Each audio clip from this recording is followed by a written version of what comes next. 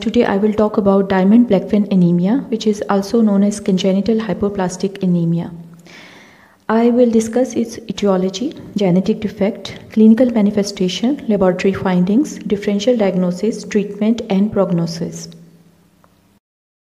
Now, first I will discuss its etiology and genetic defect.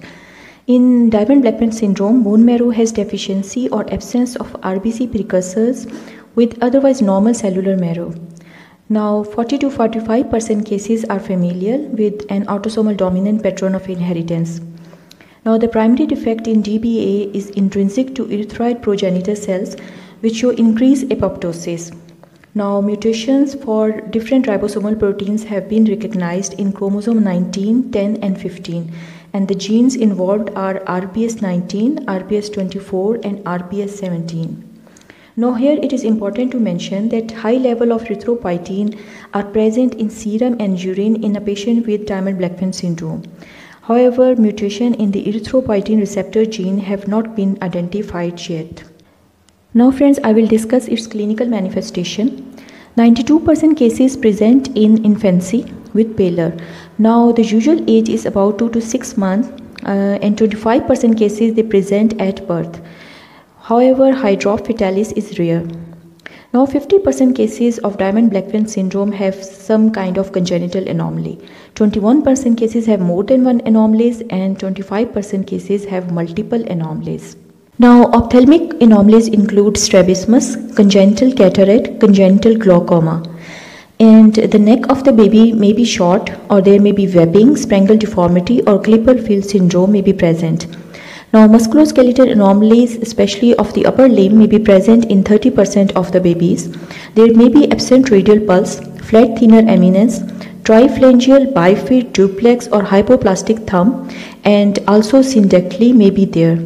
Now, urogenital anomalies are present in 38% cases. These may be in a form of hypospadias or absent or horseshoe-shaped kidneys. Cardiac anomalies are present in 30% cases. There may be VSD, ASD, coarctation of aorta, or it may be complex congenital heart disease. Now, in Diamond-Blackfan syndrome, there may be short stature and learning difficulties. Now friends, I will discuss the laboratory findings. On blood test, we have anemia. MCV is increased. However, there are no hypersegmented neutrophils. Now retic count is very much low. There may be thrombocytopenia or thrombocytosis. There is occasional neutropenia. On chemical evaluation of RBC, I antigen expression is increased. Fetal hemoglobin and erythrocyte adenosine deaminase activity in RBC is also increased. In serum, iron level is also increased. Now on bone marrow biopsy, RBC precursors are decreased while other cellular elements are normal. On chromosomal studies, the chromosomes are normal and there is no increased fragility or chromosomal breaks when lymphocytes are exposed to alkylating agents. Now friends, I will discuss the differential diagnosis of Diamond-Blackfan syndrome. It must be differentiated from other anemia which have low retic count. Now, the syndrome of transient erythroblastopenia of childhood is often the primary alternative diagnosis. Now, TEC often is differentiated from DBA by its relatively late onset, although it can occur in infant less than 6 months of age.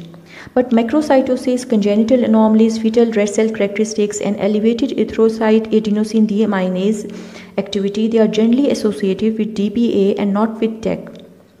Now, second is the hemolytic disease of the newborn and it can have a protracted course and the associated anemia is occasionally coupled with marked reduced erythropoiesis but the anemia usually resolves spontaneously at 5 to 8 weeks of age.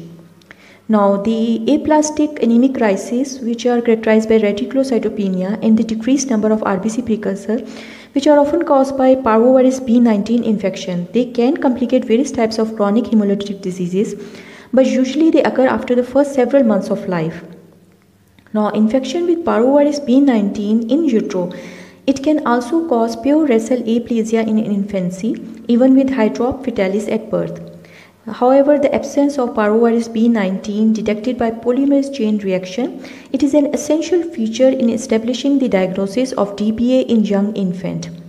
Now, other inherited macrocytic bone marrow failure syndrome should be considered, particularly Fanconi anemia and Shwachman-Diamond syndrome. Other conditions like HIV and drugs, immune uh, processes and Pearson syndrome, they sh should also be ruled out in a case of Diamond-Blackfan syndrome. Now friends, I will discuss the treatment of Diamond-Blackfan syndrome. Now, corticosteroids are the mainstay of therapy. These are generally recommended after one year of age. Prednisone or prednisolone is given in a dose of 2 mg per kilogram per day. Now the treatment schedule is that when hemoglobin start increasing, the dose should be tapered to the lowest effective dose. Then double this dose and give on alternate days. Now taper further and uh, it can be given two times per week as the lowest effective dose. Now RBC precursors are increased in the bone marrow within 1 to 3 week followed by peripheral reticulocytosis. Then hemoglobin normalizes by about 4 to 6 weeks. Now during this corticosteroid therapy, hemoglobin should be maintained more than 9 gram per deciliter. Now with this therapy, response is seen in more than 80% cases. Now friends, I will discuss its prognosis. 40% cases are transfusion dependent while 40% are steroid dependent. Now 20% cases require no therapy to maintain an acceptable hemoglobin level. Most remission occur by first decade of life and it has been suggested that overall survival at more than 40 years is about 75.1%. Now friends, 70% death in Diamond-Blackfan syndrome are treatment related and these include opportunistic infections due to corticosteroid therapy, iron overload and transplant complications. Now 30% death may be disease related and these include aplastic anemia and malignancy.